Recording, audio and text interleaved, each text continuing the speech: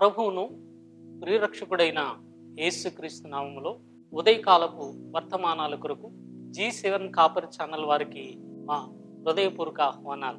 మొదటి ప్రసంగంలో అబ్రహాము విశ్వాసం అనే అంశం మీద మొదటి ధ్యానము. రెండవదిగా అబ్రహాం విశ్వాసం అనేది రెండవ వర్తమానాన్ని మీకు ఇవ్వడానికి ప్రభు ఇచ్చిన ఉన్న మంచి సమయాన్ని బట్టి దేవునికి మహిమ. మరొకసారి మీ అందరికీ కూడా ఈ వర్తమానం కొరకు ప్రేమపూర్వకమైన ఆహ్వానాన్ని తెలియజేస్తున్నాను అబ్రాహం జీవితాన్ని మనం గమనించాముగా అబ్రాహం జీవితంలో చూసినట్లయితే దేవుడు అతని ముందు ఏడు వాగ్దానాలు ఏడు ఆశీర్వాదాలు అతనికి ఇవ్వడానికి మూడు కండిషన్స్ పెట్టినప్పుడు అబ్రాహం మూడు కండిషన్స్ విషయంలో దేవునితో పరిపూర్ణంగా ఉన్నప్పుడు అతని జీవితంలో నాలుగు ఆశీర్వాదాలు లేదా నాలుగు ప్రొఫెసిస్ అతని జీవితంలో నెరవేరినాయి. ఐదు ఆరు ఏడు ఇస్సాకు యాకోబు. అదేవిధంగా చివరిది మోషే ద్వారా పరిపూర్ణంగా ఏడు వాగ్దానాలు నెరవేరినట్లు మనము గమనించాం. రెండవదిగా చూసుకున్నట్లయితే అబ్రహాము జీవితంలో అతడు మూడు పద్ధతులు అవలంబించేవాడు. దేవుల్లో మంచి మార్గంలో జీవించడానికి అతడు మూడు పద్ధతులు అవలంబించేవాడు. ఇది ప్రతి వ్యక్తి ఆధ్యాత్మిక జీవితానికి ఎంతో ఆదర్శంగా ఈ మూడు పద్ధతులు ఉంటాయి ఆది కాండము పన్నెండవ అధ్యాయం ఏడు ఎనిమిది వచ్చినాలే నేను చదువుతున్నాను. జాగ్రత్తగా గమనించండి. యహోవా అబ్రాముకు ప్రత్యక్షమై నీ సంతానమునకు ఈ దేశమిచ్చదనని చెప్పగా అతడు తనకు ప్రత్యక్షమైన యహోవాకు ఒక బలిపీఠము కట్టెను. అక్కడ నుండి అతడు బయలుదేరి బేతేలునకు తూర్పునున్న కొండకు చేరి పడమటనున్న బేతేలునకు తూర్పునున్న హాయికిని మధ్య గుడారం వేసి అక్కడ యహోవాకు బలిపీఠం కట్టి యహోవా నామమున ప్రార్థన చేసెను అని దేవుని యొక్క వాక్యంలో ఇక్కడ మనం చూడగలుగుతున్నాం. ప్రభునందు ప్రియులారా అబ్రాహము విశ్వాస జీవితంలో దేవునిలో తన ఆత్మీయ యాత్రను కొనసాగిస్తున్నప్పుడు అతడు ఏ కొత్త ప్రదేశానికి వెళ్ళినా మొట్టమొదట అతడు చేసే పని ఏంటంటే మొట్టమొదట గుడారము వేసుకునేవాడు. రెండవదిగా దేవునికి బలిపీఠము కట్టేవాడు. మూడవదిగా చూసినట్లయితే అదే ప్రదేశంలో ప్రార్థన చేసిన తరువాత అతని కార్యక్రమాలు అతను ప్రారంభించేవాడు. ఈ మూడు పద్ధతుల ద్వారా ఆత్మీయంగా మనం కొన్ని విషయాలు నేర్చుకోవాలని దీన్ని మేము ముందుంచుతున్నాను. మన క్రైస్తవ జీవితంలో గుడారము మన నివాసానికి సాదృశ్యంగా ఉన్నది. మన పూర్వీకులు అబ్రహాము వారు చూసినట్లయితే వారు సంచార జీవులుగా ఉండేవారు. ఎక్కడ నీళ్ళు ఉంటే ఎక్కడ అనుకూలమైన వాతావరణం ఉంటే అక్కడ గుడారాలు వేసుకుని వారి జీవితాలు కొనసాగిస్తునేవారు. అబ్రాహ్మ దేవుడితో చేసిన వాగ్దానాన్ని బట్టి అతడు అరాన్ నుండి కనాను వరకు బయలుదేరి వెళ్ళేటప్పుడు అనేక చోట్ల అతడు ఆగేవాడు. ఆగినప్పుడల్లా కూడా దేవుడు చెప్పిన చోట అతడు ఆగి మొట్టమొదట గుడారం వేసుకునేవాడు. రెండవదిగా దేవునికి బలిపీఠం కట్టేవాడు. మూడవదిగా చూసినట్లయితే అతడు ప్రార్థన చేసేవాడు. ఈ మూడు విషయాల్లో అబ్రాహం ఎప్పుడు కూడా తప్పిపోలేదు. ఇది ఆది కాండంలో రెండు మూడు చోట్ల ఈ విషయము రాయబడిందనే విషయాన్ని మీకు నేను తెలియజేస్తున్నాను. ఈ గుడారము అనగానే తాత్కాలికమైన మన నివాసము. ఒక చోట స్థిరంగా ఉండని ఆ సంచార జీవులు ప్రతి చోట ఈ దినాల్లో కూడా చాలా చోట్ల ఈ సంచార జీవులు మనం చూస్తూ ఉంటాం. ఎక్కడ చోట గుడారాలు వేసుకుంటారు చిన్న చిన్న వ్యాపారాలు చేసుకుంటారు వాళ్ళు వెళ్ళిపోతూ ఉంటారు. వారి ఇల్లేవి కూడా స్టాండర్డ్గా ఉండవు. గుడారంలో వాళ్ళు జీవించేవారు. ప్రభునంత ప్రియులరా అవి సౌకర్యంగా ఉండవు బలంగా ఉండవు. కానీ అబ్రాహం విషయంలో దేవుడు ఎప్పుడు చెప్తే ఎప్పుడు పిలిస్తే అప్పుడు వెంటనే తన గుడారాన్ని సర్దుకొని మరొక తోటకి వెళ్ళిపోతూ ఉండేవాడు. ఇది పరిశుద్ధ గ్రంథమైన బైబిల్లో చూసినట్లయితే మొదటి పేరు పితృపత్రికలో రెండవ అధ్యాయము పదకొండవ వచనం. ప్రియులారా మీరు పరదేశులను యాత్రికులై ఉన్నారు గనుక ఆత్మకు విరోధంగా పోరాడి మీ శరీరములను విసర్జించి ఎప్పుడు కూడా ఒక చోట స్థిరంగా ఎక్కడా కూడా ఉండలేము. యాత్రికులము పరదేశులమైన మనము నిన్న ఒక చోట ఉంటాము ఈ రోజు ఎక్కడ రేపు ఎక్కడ ఉంటామో తెలియదు ఈ గుడారము అనేది చూసినట్లయితే తాల్ తాత్కాలికమైన మన నివాసానికి సాదృశ్యంగా ఉన్నది. ఈ గుడారం అనగానే రెండవదిగా చూసినట్లయితే ఇది మన శరీరానికి సూచనగా ఉంది. రెండవ కొరింతీలకు రాసిన పత్రిక ఐదవ అధ్యాయం. రెండవ కొరింతీలకు రాసిన పత్రిక ఐదవ అధ్యాయము. ఐదవ అధ్యాయంలో మొదటి నుంచి కొన్ని మాటలు. భూమి మీద మన గుడారమైన ఈ నివాసము శిథిలమైపోయినను. చేతి పని కాక దేవుని చేత కట్టబడినది నిత్యమైన నివాసం పరలోకమందు మనకున్నదని ఎరుగుదము. మనం దిగంబరులం కాక వస్త్రం ధరించుకున్న వారుగా కనబడదము. ఈ గుడారములో నున్న మనము భారము మోసుకుని ములుగుచున్నాం నీ తీసివేయవలని కాదు గాని మత్స్యమైనది జీవం చేత మింగివేయబడినట్లు ఆ నివాసము పైన దీన్ని ధరించుకొని కోరుచున్నాం ఇందు నిమిత్తము మనల్ని సిద్ధపరిచిన వాడు దేవుడే. కనుక ఈ దేహములో నివసించినంత కాలం ప్రభువుకు దూరంగా ఉన్నామని ఎరిగి ఎల్లప్పుడూ ధైర్యం గలవారమై ఉన్నాం. ఇక్కడ చూసినట్లయితే గుడారం అనేది దేహానికి సాదృశ్యంగా రెండవ కొరింతీలు రాసిన పత్రికలో అపుస్తులైన పౌలు కొరింతీలకు సంఘానికి రాస్తూ ఈ ఐదవ అధ్యాయంలో చాలా వచనాలు దీంట్లో రాయబడిందనే విషయాన్ని మీకు తెలియజేస్తున్నాను. ప్రభు నన్ను ప్రియులారా ఈ రక్షింపబడిన మనము ఈ లోకంలో జీవించినంత కాలము కూడా అబ్రాహ్మ జీవితాన్ని చూసినట్లయితే ఎక్కడికి వెళ్ళినా దేవునికి ఇష్టడుగా జీవించేవాడు.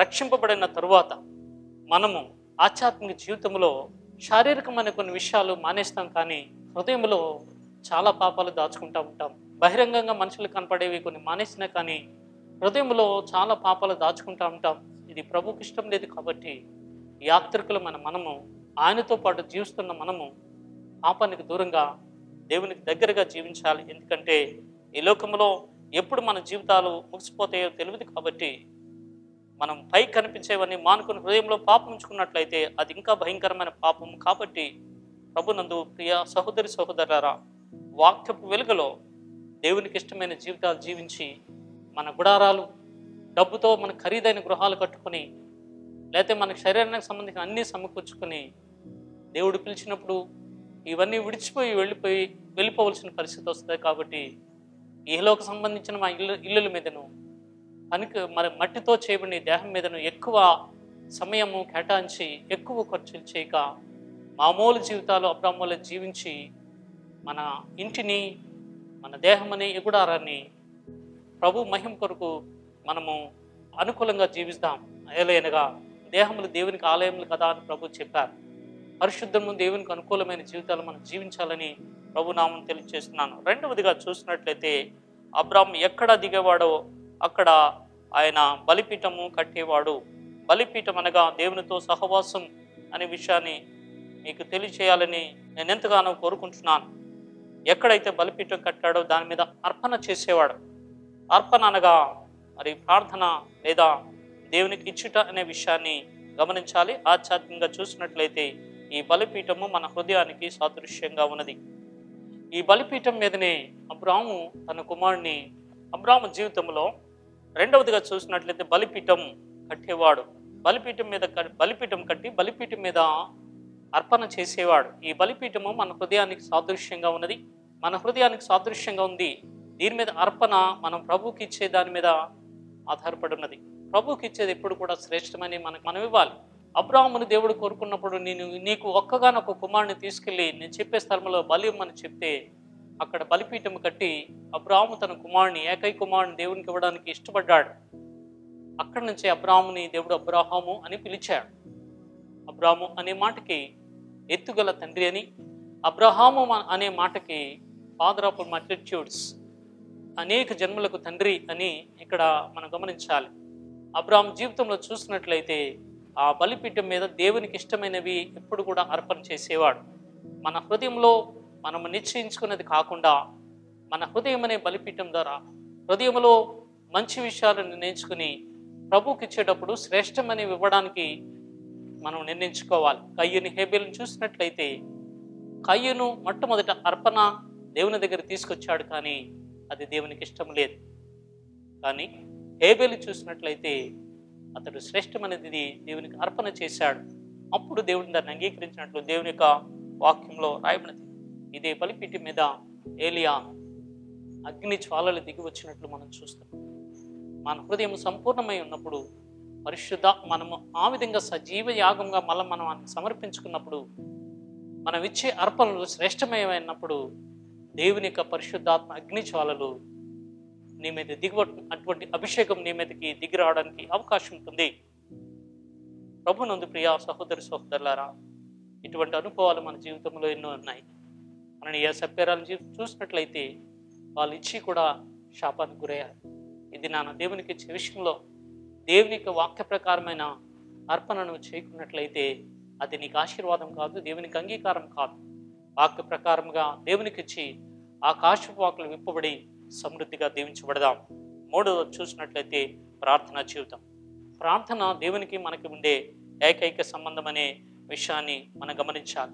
ప్రార్థన చేసే మనము దేవునితో సమాధానంగా ఉండడమే కాదు కానీ నీ సహోదరునితో కూడా సమాధానంగా ఉండి నువ్వు ప్రార్థన చేయాలి లేదా ప్రభు బలలో పాల్గొవాలి. చాలాసార్లు మనం ప్రభు బలలో పాల్గొంటాం కానీ పక్క వారితో సరైన సహవాసం కలిగి ఉండం. సేవకులతో మంచి సహవాసం కలిగి ఉండం. మా సేవా జీవితంలో చూసినట్లయితే చాలామంది విశ్వాసం చూసాం వాళ్ళకి దేవుడు కావాలి కానీ దేవుని సేవకులు అవసరం లేదు. దేవుని మందిరం అవసరం లేదు. వాక్యము కావాలి కానీ దేవుని సేవకుల గురించి అస్సలు ఆలోచించరు. ఇది నిజమా? ఇది యథార్థమా? దేవుని ప్రేమించని నీవు దేవుని సేవకులను ప్రేమించవా? దేవుని సేవకులను ప్రేమించని నీవు నీ సహోదరుని ప్రేమించవా? అన్నిటిలోకి శ్రేష్టమైనది ప్రేమని పరిశుద్ధ గ్రంథం రా బైబిల్లో రాయబడలేదా? కనుక దేవునితో గంటలు గంటలు ప్రార్థన చేస్తూ కూడా నీ హృదయంలో సమాధానం ఉండకపోవడానికి దేవుని దగ్గర నీ సమాధానం రాకపోవడానికి కారణం ఏంటో తెలుసా? నీకు దేవునితో సమాధానం ఉండదు సేవకులతో సహవాసం ఉండదు సాటి విశ్వాసంతో సహవాసం ఉండదు. అని నువ్వు చేస్తున్నా చేస్తూ ఉంటావు కనుక ప్రార్థనే దేవునికి మనకి ఉండే ప్రాముఖ్యమైన మరి విషయాన్ని లేదా సంబంధాన్ని తెలియచేస్తుంది కాబట్టి ప్రార్థన చేసేటప్పుడు మనం చాలా జాగ్రత్తగా ప్రార్థన చేయాలని నువ్వు ఎంత భారంతో ప్రార్థన చేస్తున్నావో కాదు కానీ దేవునికి ఇష్టమైన జీవితాలు జీవించి నీ హృదయంలో శుద్ధి కలిగి నువ్వు ప్రార్థన చేసినట్లయితే దేవుడు ఆ ప్రార్థన తప్పకుండా ఆలకిస్తాడు అనే విషయాన్ని దేవుని విషయంలో మీకు తెలియచేయడానికి ఇష్టపడుతున్నాను. కనుకనే మనం ప్రార్థన చేసేది ఐదు పది నిమిషాలు కాదు కానీ విశ్వాసమైన నీవు కనీసం గంట నుంచి మూడు గంటలు ప్రభు సన్నిధిలో ఏకాంతంగా గడుపునట్లయితే మరి చాలామంది దైవోపదేశకులు చెప్పిన మాట ఏంటంటే రాత్రి పన్నెండు గంటల తర్వాత ఏకాంతంగా ప్రభుతో గడిపినట్లయితే అందరూ నిద్రపోయిన తర్వాత ప్రభు నీతో మాట్లాడడానికి ఇష్టపడతారు. ప్రార్థన చేస్తున్నప్పుడు నీవు సిద్ధపాటు లేకుండా చేసే ప్రార్థన పరిశైన వలె సాటి విశ్వాసం మీద మంచి ఉద్దేశాలు లేకుండా నువ్వు ప్రార్థన చేసినట్లయితే ఆ ప్రార్థన ప్రభు సన్నిధికి చేరదు. యశగ్రంథం యాభై తొమ్మిదవ అధ్యాయంలో నీకును నాకును మరి మీ దోషం లడ్డుగా ఉన్నాయని ప్రభు చెప్తారు. దినాన గంటలు గంటలు ప్రార్థన చేస్తున్నావు కానీ నీ హృదయంలో కల్మషం ఉంచుకుని ఎదుటి వాళ్ళతో దేవునితో దేవుని సేవకులతో నీవు సహవాసం లేకుండా సమాధానం లేకుండా నువ్వు ప్రార్థన చేసినట్లయితే ఆ ప్రార్థన దేవుని సన్నిధికి చేరదు. అబ్రాహ్మ జీవితంలో చూసినట్లయితే అబ్రాహ్మ సొదుమ గుమ్మరుల గురించి అతడు చేసిన ప్రార్థన దేవుణ్ణి విసిగించేటంతగా అతను ఆరు సార్లు సుమారు ప్రార్థన చేశారు ప్రార్థన మన ఆధ్యాత్మిక జీవితము ఎదుగుదలకి దేవునికి మనకి ఉండే సంబంధాన్ని తెలియచేస్తుంది.